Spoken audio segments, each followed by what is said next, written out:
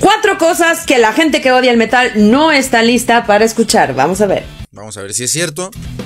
Número 1. No todo el metal es satánico. Es verdad, no todo el metal es satánico, pero muchas veces se tiene esta creencia porque hay muchas bandas que se enfocan en esto y esto fue para causar controversia y como llamaron bastante la atención de muchas personas pues se quedó el estigma de que todo el metal es satánico, pero es cosa de usar mera lógica porque no hay ningún género musical que simplemente hable de un tema. Es verdad que hay muchos temas que son principales en los géneros musicales en general, pero no significa que toda la música música hable de eso. Dentro de las letras del metal también se abordan temáticas históricas, épicas, de protesta. Literalmente de todo. Esta política y algunas hasta conspiracionales. Y si no han escuchado Blood Incantation, échenles un lente porque también tratan temas alienígenas. Número 2. No todos son gritos, chillidos de puerco, vómitos, como a mucha gente le gusta llamarle. Es verdad, no todos son gritos chidos de puerco o como dicen, pero también muchas personas relacionan este tipo de cantos a el metal porque no suelen ser cantos que se utilicen mucho en otros géneros musicales, entonces también se le asocia a esto, a el metal, porque sí, el metal también existe de forma sinfónica, existen cantos que son increíblemente melodiosos y bonitos, pero como dije, como los gritos suelen utilizarse en el metal y no en géneros más populares, entonces dicen, bueno, los gritos son del metal, por ende todo el metal son gritos y también es que las personas no les gusta indagar más y por eso se tiene ese pensamiento, vaya.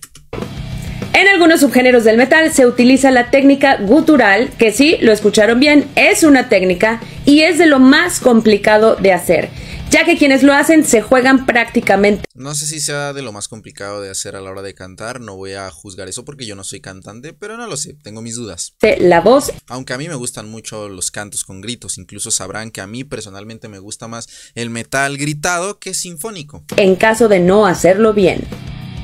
Además, en muchos subgéneros también se utiliza voz limpia o una mezcla de estas dos técnicas, además del canto lírico, como es el caso del metal sinfónico. Número 3. El metal por sí solo no te hace consumir sustancias nocivas para tu salud o ser agresivo.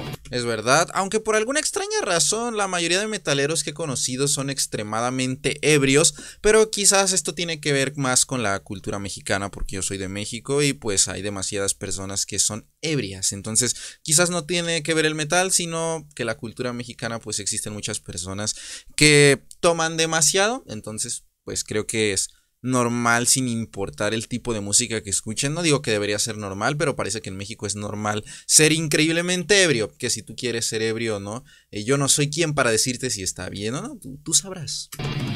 La realidad es que esto tiene que ver más con el contexto en que vive la persona, sus experiencias de vida, su entorno social, su autoestima. Y es que en cualquier género musical existen personas que deciden tomar este camino. Y no es nada en contra de Peso Pluma, en sí hay otros géneros que promueven este tipo de actividades. ¿Que Peso Pluma incita a ser alcohólico? La verdad no lo sé porque no escucho Peso Pluma, pero no conocerá a Tankard. Y número 4, el metal es muy sencillo de tocar. Nada más alejado de la realidad, tan solo la velocidad que alcanzan las baterías, guitarras, por ejemplo, requieren de mucha práctica y habilidad para alcanzar esos ritmos que en algunos subgéneros parecen implicar, de verdad, un esfuerzo sobrehumano. Y tan solo como ejemplo tenemos a Mike Portnoy, quien fue baterista de Dream Theater, pero en sí la lista es larga, hay muchísimos otros bateristas dentro del metal que son de verdad irreales. Es verdad, para tocar metal se necesita cierta técnica, ser bueno en tu instrumento, pero también depende qué clase de metal quieras tocar y también depende la banda. Yo soy alguien que cree que muchas veces depende la banda, porque hay bandas sin importar el subgénero del metal que lo hacen un poco más sencillo, otras más complicado y así. Lo que sí no significa que algo más difícil sea mejor y algo más sencillo sea peor. Eso depende mucho de la percepción del individuo.